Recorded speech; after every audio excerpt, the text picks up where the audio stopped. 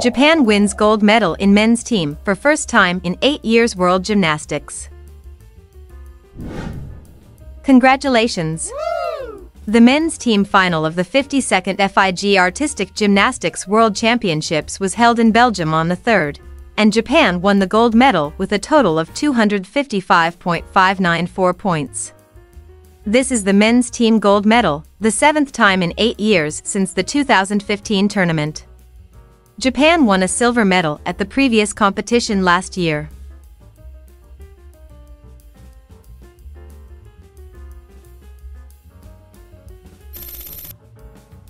Daiki Hashimoto said my goal has been to gain momentum for the team by scoring a landing.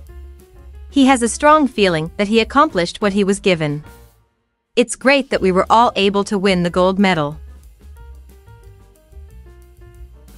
Last year's champion China came in second with 253.794 points.